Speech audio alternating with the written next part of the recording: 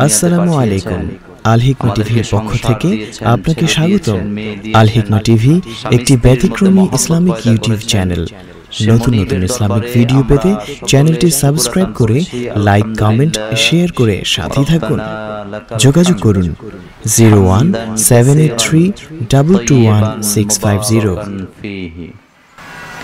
আমরা আজকে ঐতিহ্যবাহী পাবনা বিজ্ঞান ও প্রযুক্তি বিশ্ববিদ্যালয়ের সংলগ্ন মাঠ, অর্থাৎ জহিরপুর দাখিল মাদ্রাসার ময়দানে আজকের এই তাফসির কোরআনের মাহফিলের সম্মানিতা মা ও বোনদের সমাবেশ, যাকে আমরা বলি মহিলা সমাবেশ। তো মা বোনদের সামনে আলোচনা করার মানেই হলো একটু অন্ধকার থেকে কথা বলা, যেহেতু তাদেরকে দেখতে পাচ্ছি না আমরা। আমরা পর্দা সহকারেই তাদেরকে বসার ব্যবস্থা করে দিয়েছি। মা বোনরা কষ্ট করে এসেছেন, সংসারের কাজ সকাল সকাল সেরে। সেজন্যে আমি দোয়া করে আল্লাহ যেন আপনাদেরকে খাদিজাতুল কবরা রদি আল্লাহ আনহা, আম্মা যেন আয়েশা সিদ্দিকা রদি আল্লাহ আনহা, তাদের সাথে যেন আল্লাহ আপনাদেরকে কবুল করেন। মা এবং বোনেরা, আজকে আমরা গুরুত্বপূর্ণ কিছু কথা শুনব। পৃথিবীর সৃষ্টি থেকে নিয়ে এখন পর্যন্ত পৃথিবীতে যত ধর্মের সৃষ্টি হয়েছে, কোনো ধর্ম মহিলাদের অধিকার দিতে পারেন নাই। মহিলাদের অধিকার প্রতিষ্ঠার করেছেন শুধুমাত্র ইসলাম, কোরআন এবং বিশ্বনবী জনাবে মোহাম্মদ রসুল্লাহ সাল্লাহ আলী হুসাল্লাম নারী, পুরুষ আল্লাহ পাক দুটি জাতি প্রজাতি বলতে পারি সৃষ্টি করেছেন। কিন্তু নারী আর পুরুষরা শুধু আমোদ ফুর্তি করবে, নোংরামি করবে পৃথিবীতে, প্রেমের নামে, পীড়িতের নামে নোংরামি করবে, সমাজে ঘুরবে, অশ্লীলতার সাথে চলবে, পৃথিবীতে হাইওয়ান, জানোয়ার, কুকুর, বিড়াল, পশু, পাখি, বাঘেরাও বাচ্চা জন্ম দেয়। কিন্তু তাদের মতো আমরাও বেহায়াপনা করব, এই জন্য আল্লাহ মানুষ তৈরি করেন নাই। মানুষ তৈরি করেছেন আল্লাহ বিশাল পরিকল্পনার মাধ্যমে। আমি খুব গুরুত্বপূর্ণ কিছু কথা আপনাদের জন্য রাখব। অর্থাৎ একজন নারী সৃষ্টি থেকে নিয়ে মৃত্যু পর্যন্ত কারও না কারও দ্বারা নির্যাতিত হয় বিদায়। আল্লাপা কোরআনুল কারিমে নারীদের জন্য চমৎকার কিছু নীতিমালা প্রণয়ন করেছেন।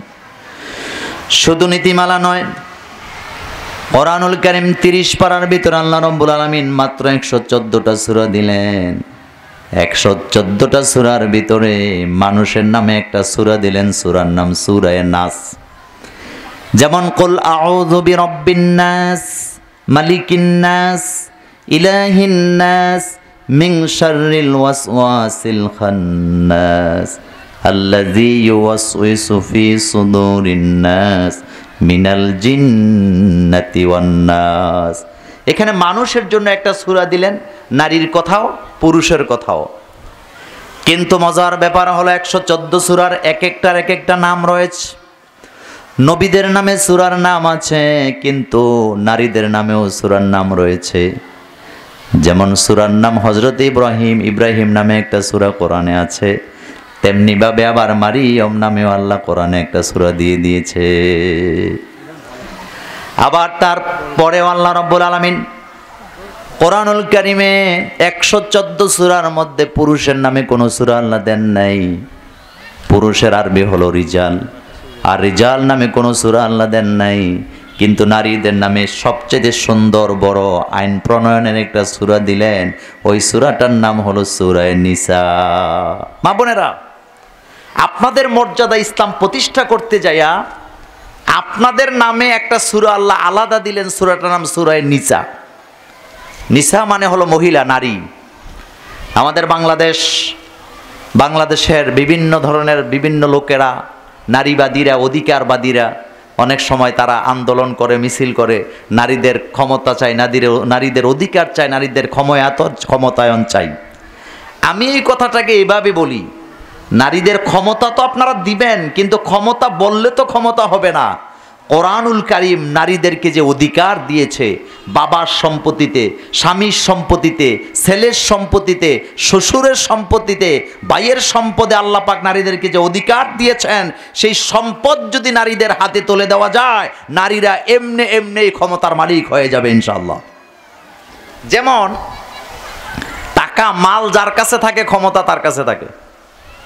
একটা পরিবারে স্বামী আছে স্ত্রী আছে টাকা পয়সা স্বামী কামাই করে বলে ক্ষমতাটাও স্বামী একটু বেশি দেখায় যেমন আল্লাহ কোরআনুল কারিমে বলেছেন الرجال قوامون على النساء بما فضل الله بعضهم على بعض وبما أنفقوا من أموالهم আল্লাহ পাক বলেন পুরুষদেরকে নারীদের উপরে আমি একটু ক্ষমতা দিয়েছি একটু নেতৃত্ব দিয়েছি এই কারণে যেহেতু পুরুষেরা মালটা কামাই করে, পুরুষেরা খরচ করে, আর নারীরা স্বামীর পকেটগুলি থেকে খরচ করে, সেজন্য নারীদের চেতে পুরুষের ক্ষমতা আমি আল্লাহ একটু বাড়িয়ে দিয়েছি।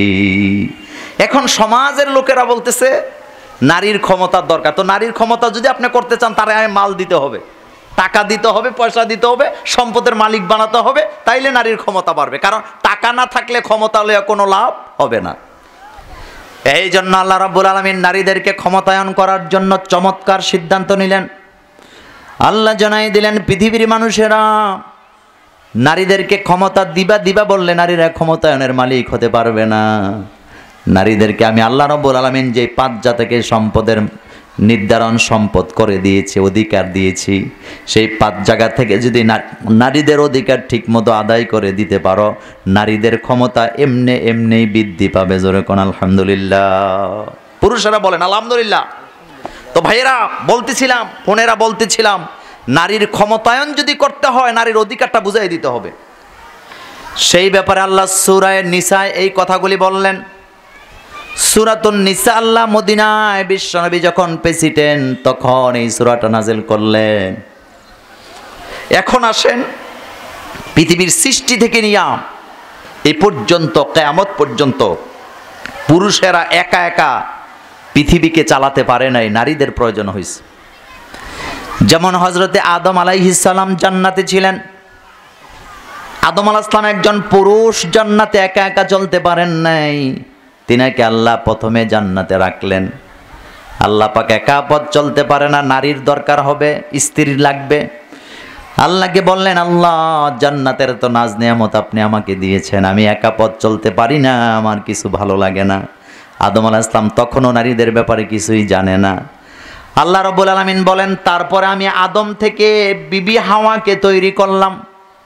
বিবি হাওয়াকে তৈরি করার পর আদমকে আমি বললাম, ইয়া আদা মুসকন আন্তা ওয়া জাওজুকাল জান্নাতা ওয়া কুলা মিনহা। রগাদান হাইসু শি'তুমা ওয়ালা তাকরাবা হাযিহি শাজারা, ফাতাকুনা মিনাজ জালিমিন দুইজনকে বানায় একটা সুন্দর ছোট্ট পরিবার, টোনাটুনি বলতে পারেন, ছোট্ট পরিবার জান্নাতে। জান্নাত বিশাল, কিন্তু পরিবার মাত্র একটা।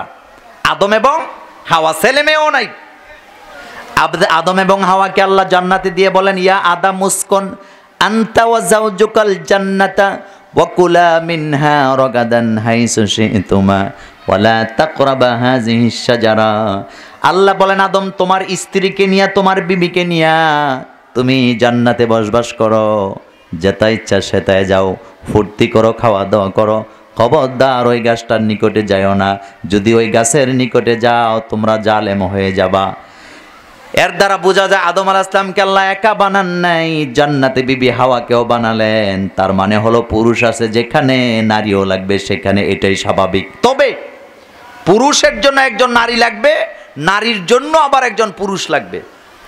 অধিকাংশ ক্ষেত্রে নারীরা তার স্বামীকে মর্যাদা দেয় না। কিন্তু পুরুষটা হোক আপনার একেবারে দুর্বল। আপনার স্বামী হোক কালো হোক দুর্বল, একেবারে কম কামায় রুজরি করে, তারপরও যেই নারীর স্বামী আছে, সেই নারীর সমাজে মর্যাদাটাই আলাদা। স্বামীর মর্যাদার জন্য স্ত্রী যেমন প্রয়োজন, স্ত্রীর মর্যাদার জন্য স্বামীর বিকল্প কিচ্ছু নেই। আপনার ভাইয়েরা কুটিপতি আপনার আত্মীয় স্বজনেরা কুটিপতি, আপনার স্বামী হোক গরিব, এই স্বামীটা যতক্ষণ আছে, আপনার মর্যাদাও ততক্ষণ আছে। এটা নারীদেরকে বুঝতে হবে। কারণ স্বামী ছাড়া নারীর মর্যাদা কখনো অক্ষুণ্ণ থাকতে পারে না। তো আসেন, আজকে মূল আলোচনায় আমরা চলে যাই। তাহলে বুঝতে পারলাম নারী পুরুষ একসাথেই আল্লাহ পাক সৃষ্টি করেছেন এবং একসাথেই আল্লাহ পৃথিবীতে পাঠিয়েছেন, একসাথে সংসার করার জন্য দুনিয়াতে পাঠালেন। যতদিন জান্নাতে আদম আলাহ ইসলাম তার বিবিকে নিয়ে থাকলেন, একটা সন্তানও জন্ম দিতে পারে নাই। একটাও না। সাড়ে তিন হাজারের উপরে বয়স তিনি কাটিয়েছেন, তার বিবিকে নিয়ে জান্নাতে। আমরা চল্লিশ বছরে পাঁচ, ছয়টা বাচ্চা জন্ম দেয় আমাদের বাবারা, মায়েরা। কিন্তু আদম আলাহ ইসলাম সাড়ে তিন হাজার বছর জান্নাতে ছিলেন, একটা বাচ্চাও জন্ম দিতে পারেন নাই। কেন পারেন নাই? কারণ আল্লাহ পাক জানায় দিলেন, জান্নাতকে আমি বাচ্চা জন্ম দেওয়ার জন্য বানাই নাই। বাচ্চা যদি জন্ম দিতে চাও, পরিবারটা যদি বাড়াতে চাও, দুনিয়ায় চলে যাও। কারণ দুনিয়াতে যাওয়ার পরেই তোমাদের পরিবার আমি লম্বা করে দেব। পরিবার। তাহলে জান্নাতে পরিবার বাড়াবার কোনো সিস্টেম নাই বলে আল্লাহ রব্বুল আলমিন পৃথিবীতে আদমকে এবং হাওয়াকে পাঠিয়ে দিলেন সোহান আল্লাহ এখন শোনেন সুরায় নিসার যে আয়াত আমি আজকে পড়ব আল্লাহ রব্বুল আলমিন কোরআনুল কারিমে বলেন يا أيها الناس اتقوا ربكم الذي خلقكم من نفس واحدة وخلق منها زوجها وبث منهما رجالا كثيرا ونساء واتقوا الله الذي تساءلون به والأرحام إن الله كان عليكم رقيبا سبحان الله এই সুরাটির শানে নজুলটা আমি আগে বলি তারপরে আমি আমার আলোচনায় যাব শানে নজুল হলো বিশ্বনবী তখন প্রেসিডেন্ট মদিনাতে এক মহিলা স্বামী মারা গেল, তার শ্বশুরের আগে। তো একটি কথা আছে, শ্বশুরের আগে যদি স্বামী মারা যায়, ওই মহিলা এবং মহিলার সন্তানেরা ওই শ্বশুরের সম্পত্তি থেকে বাঘ পায় না। ওই নারীর স্বামী মরে গেলেন, ছেলে মেয়ে রেখে। শ্বশুরের সম্পদ থেকে সম্পত্তি থেকে বঞ্চিত হওয়ার পর মহিলা ইনসাফ পাওয়ার জন্য বিশ্বনবী জনাবে মোহাম্মদুর রসুল্লাহ সাল্লাহ ইসলামের দরবারে মহিলা গেলেন।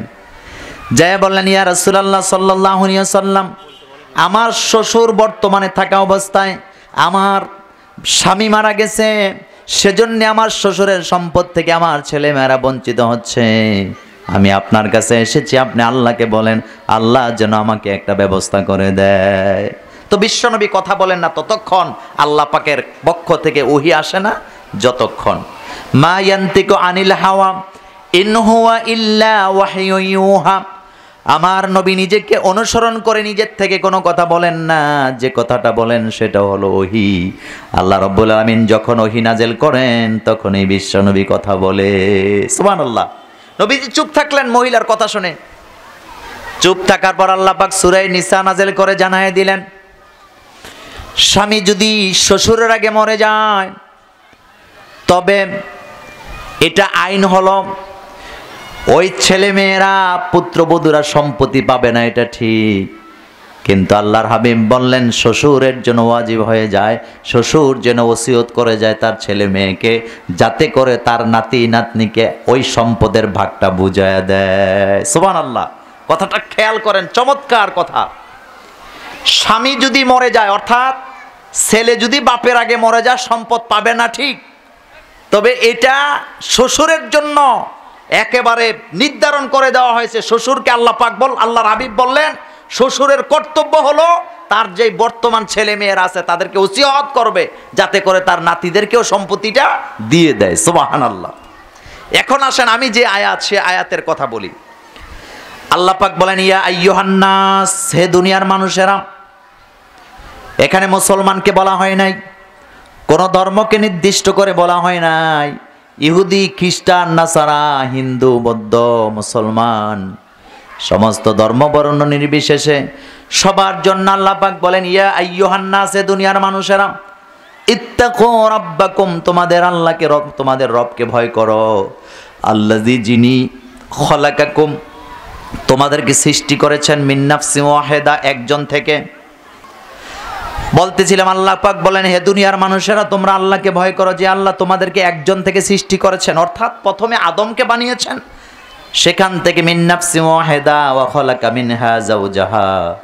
সেখান থেকে নারীদেরকে সৃষ্টি করেছেন, স্ত্রীদেরকে সৃষ্টি করেছেন।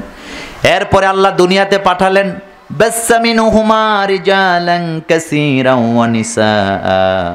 এবার দুইজন যখন পৃথিবীতে আসলেন জান্নাতে যতদিন ছিলেন ছেলে মেয়ে জন্ম দিতে পারেন নাই, সংসার বড় করতে পারেন নাই। কিন্তু দুনিয়াতে আসার পরে আল্লাহ বললেন বেসামিন হুমারি জালান কাসিরা দুনিয়াতে আসার পরে হাজার হাজার লক্ষ লক্ষ নারী তারা, নারী, নরনারী তারা জন্ম দিয়ে সংসার অনেক বড় করে পুরা পৃথিবী মানুষের দখলে নিয়ে নিয়েছে। সোবান আল্লাহ আলহামদুলিল্লাহ পড়েন। বন্ধুগণ, একটু খেয়াল করেন। আল্লাহ পাক বলেন, এই পৃথিবীটা ছিল শূন্য, মানুষ শূন্য, মানব শূন্য ছিল। সেখান থেকে আদম হাওয়াকে নামাইলেন। জান্নাতি ছিলেন, ছেলে মেয়ে জন্ম দেয় নাই। দুনিয়াতে আসার পরে বাচ্চামিন হুমারি জালান কাসিরা ওয়ান নিসা। একজন, দুইজন নয়, কাসিরা ওয়া নিসা। লক্ষ লক্ষ নয়, কোটি, কোটিও নয়, মিলিয়ন, ট্রিলিয়ন, বিলিয়ন, অক্ট্রিলিয়ন। এইভাবে করে সারা পৃথিবীটা মানুষের দখলে আল্লাহ দিয়ে দিয়েছে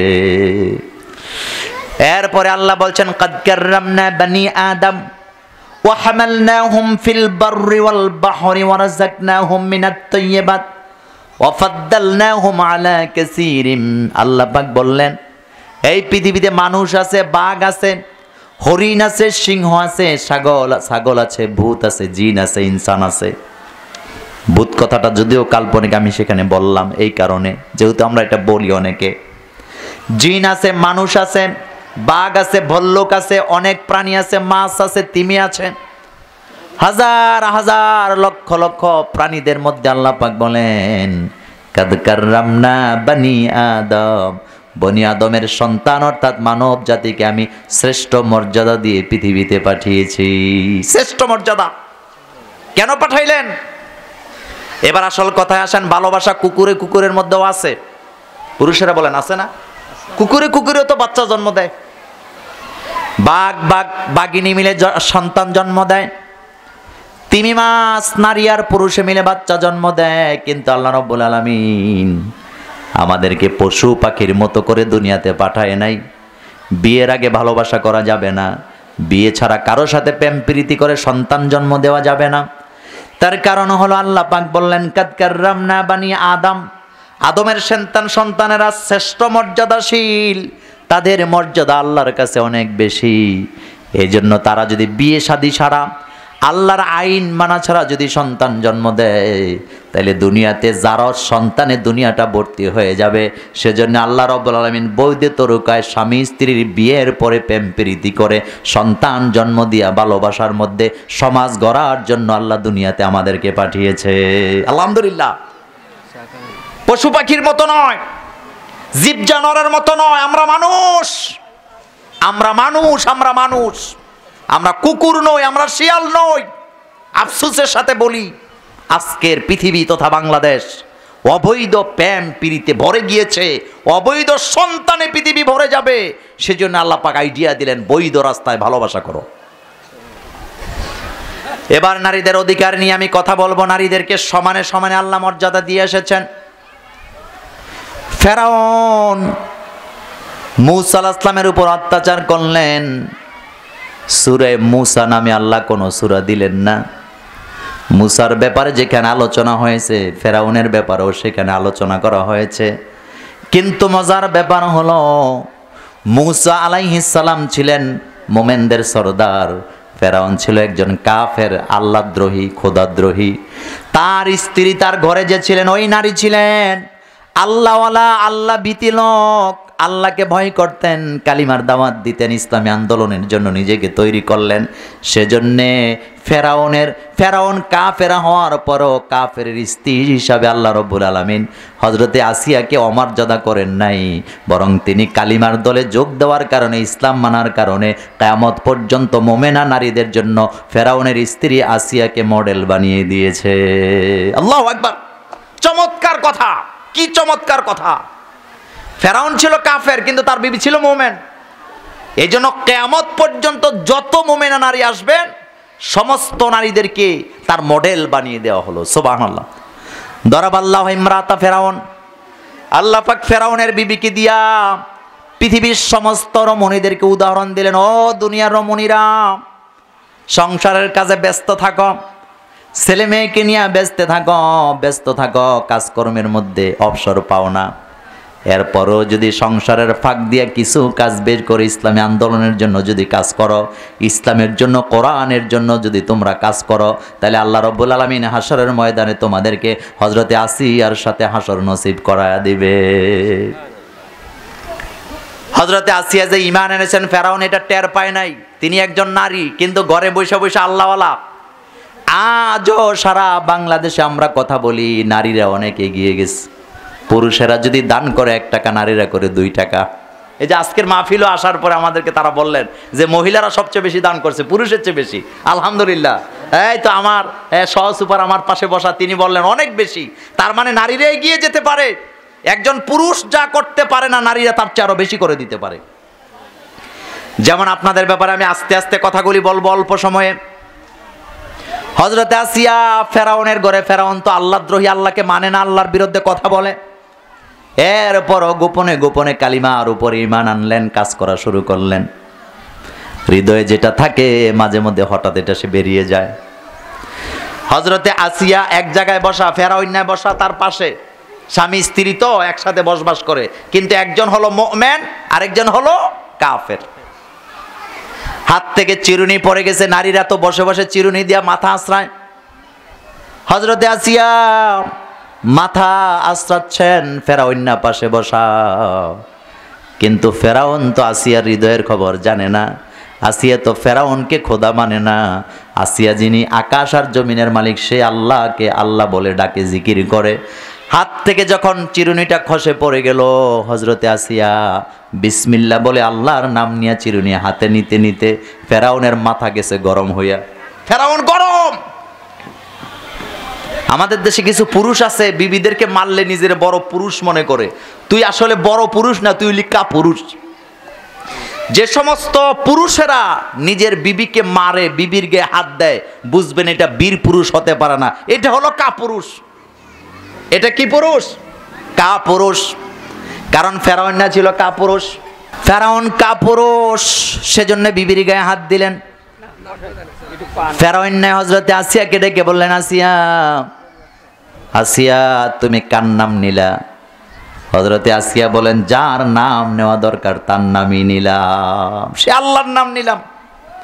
এ ফেরাউন, যিনি তোমার অরব আমার অরব সে আল্লাহর নাম নিলাম। মা বোনেরা, জীবনে অনেক কষ্ট করেন, জানি কষ্টের কথাগুলি শুনে যাও। হজরতে আসিয়া কালিমার ঘোষণা দেওয়ার কারণে ফেরাউন তাকে মারতে শুরু করলেন। একটা তক্তার মধ্যে কতগুলি পেরেক ঢুকাইলেন। পেরেক আপনারা কি বলেন। পেরেক। অনেক এলাকায় জলুই বলে বিনারিও বলে তার কাটা বলে। না, পেরেক- বলে। একটা বিরাট তক্তার মধ্যে অসংখ্য পেরেক ঢুকায় পেরেকের মাথাগুলি অন্য পৃষ্ঠ দিয়ে বাড়ি করলেন। হাজার হাজার পেরেক ঢুকাইয়া হজরতে আসিয়াকে কালিমার কারণে আল্লাহ হওয়ার কারণে উপর করে নারী দেহ নরম দেহ সোয়া উপর থেকে পাথর দিয়া চাপ দিলেন। হজরতে আসিয়ার নরম দেহটা পেরেকের মাথাগুলি লেগে ছিদ্র হয়ে, হাজার হাজার ছিদ্র হয়ে রক্ত বের হচ্ছে। একটা সেকেন্ডের জন্য হজরতে আসিয়া আল্লাহকে ভুলে যায় নাই। আল্লাহকে ডেকে বলতেছে, আল্লাহ, তোমার জন্য আজকে আমার এই কষ্ট, তোমার জন্য আমাকে ইসলামী আন্দোলনের জন্য আমাকে আজ পরীক্ষা দেওয়া হচ্ছে। ফেরাউন আমারে যত কষ্ট দেখ, আল্লাহ তোমার রাস্তা থেকে এক চুল পরিমাণ আমি আমি আসিয়া সরে যাব না। এই জন্য আল্লাহ রব্বুল আলমিন আসিয়ার সজন্যে সুরানাজেল করলেন। আসিয়ার ব্যাপারে কথা বললেন ওসামা ইদাতিল বুরুজ ওয়ালিয়াউমিল মাউউদ ওয়া শাহিদিন ওয়া মাশহুদ।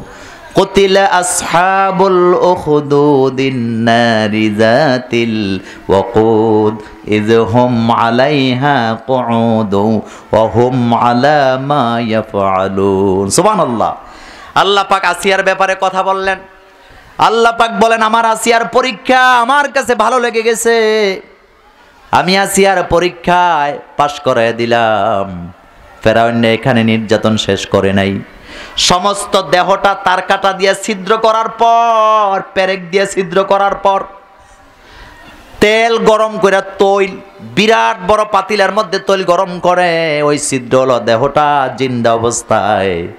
বাচ্চাগুলি সহ গরম তেলে ফালাইয়া দিল। তেলে যখন ফালাইয়া দিল, গরম তেল ছিদ্র দেহ।